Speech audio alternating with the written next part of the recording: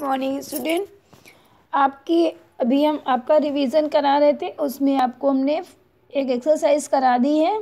अब यहाँ पे आपका है second answer the following questions तो बच्चों, हम यहाँ पे आपको समझाएँगे क्वेश्चन और उसका plus answer name the machines which work on electricity machine उन मशीनों के नाम देने हैं आपको। जो इलेक्ट्रिसिटी से चलती है, जो किससे चलती है? इलेक्ट्रिक से।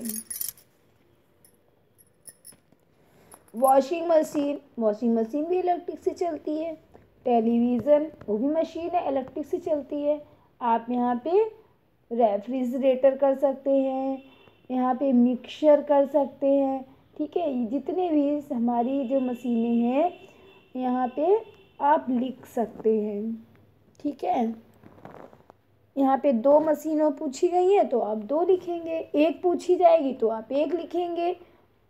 ज़्यादा पूछी जाएगी तो आप ज़्यादा लिखेंगे। लेकिन इलेक्ट्रिसिटी से चलने वाली मशीन के नाम ही आपको लिखने हैं। ठीक है? अब आता है second question write any two uses of computer यहाँ पे दो कंप्यूटर के यूज़ लिखो। First number computer help us to do the work faster and quicker. ये तो हो गया। ये तो एक हेल्प हो गया भाई। कंप्यूटर जो है वो मदद करता है काम करने में। ऐसे फास्ट और क्विक। बहुत आसानी से काम कर देता है और जल्दी करता है। दूसरा है computer saves our time and energy computer हमारे टाइम और एनर्जी को सेव करता है। ठीक है, हमारी एनर्जी और हमारे टाइम को बचाता है। अब आता है third question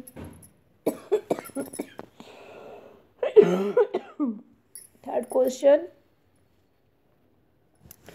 identify the right name of machines that are use to at your home तो बच्चों, आप सबके घरों में मशीनें यूज़ की जाती हैं, ठीक है? लेकिन आप, को ये कंफर्म नहीं होता है कि क्या ये मशीन है जो इलेक्ट्रिसिटी से चलती है।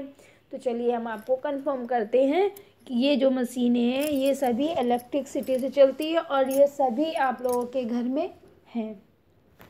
जैसे रेफ्रिजरेटर, फ्रिज। फ्रिज क्या है? एक मशीन है और इलेक्ट्रिसिटी से चलती है। टेलीविज़न। सभी बच्चे टेलीविज़न देखते हैं। तो टेलीविज़न भी क्या है? एक मशीन है। और ये किससे चलती है?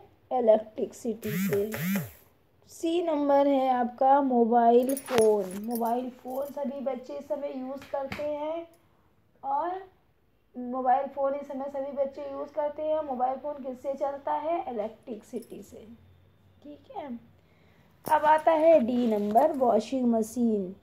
Washing machine भी हमारी किससे चलती है? इलेक्ट्रिसिटी से। इलेक्ट्रिक से चलती है। ठीक है? तो ये तो होगी आपके नाम। इलेक्ट्रिक से चलने वाले ऐसे बहुत सारे भी और हैं जो इलेक्ट्रिक से चलते हैं। जैसे प्रेस हो गया जैसे फ़ैन हो गया, फ़ैन में भी तो मशीन होती है। और इसके बाद में आपका मिक्सर हो गया, मिक्सर भी मशीन है। तो आपको जितने नाम पूछे जाएँगे, इलेक्ट्रिसिटी से चलने वाले, वो आप यहाँ पे लिखेंगे, ठीक है? ठीक है बच्चों, आप लोग इसका वीडियो बनाइएगा। इसको बोलते हुए इसको वीडियो बनाएँगे और हमें सेंड करेंगे।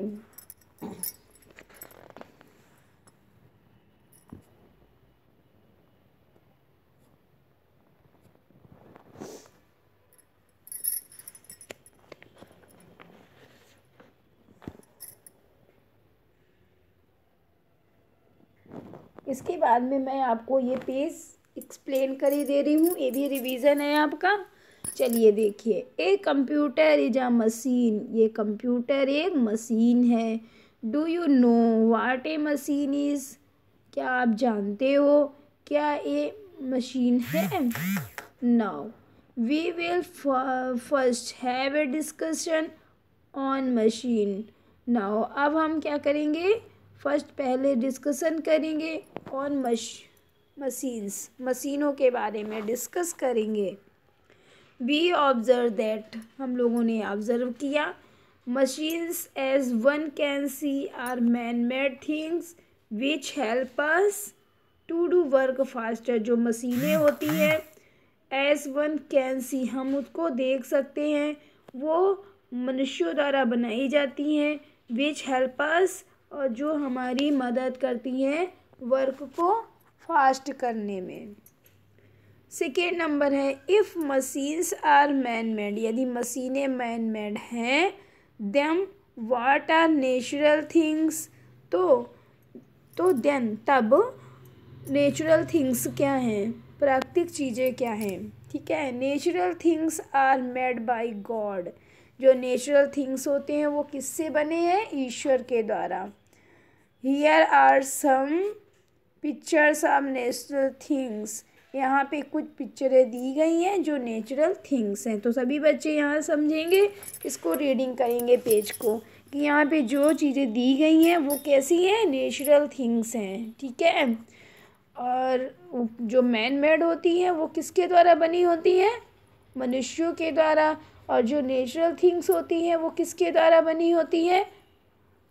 ईश्वर के द्वारा। तो यहाँ पे ये पेज आप भी चैप्टर इसकी रीडिंग करेंगे और एक्सप्लेन भी करेंगे। जैसे हम आपको एक्सप्लेन कर रहे हैं, ऐसे आप एक्सप्लेन करेंगे।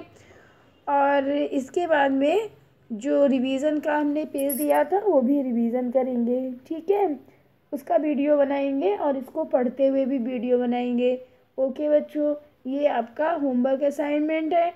अब आपकी एग्ज़ाम आने वाले हैं, इसलिए आपकी तैयारी ज़्यादा से ज़्यादा कराई जाएगी। ओके बच्चों, सभी बच्चे अच्छे से कंप्लीट करेंगे वर्क को। Okay bye bye have a nice day take care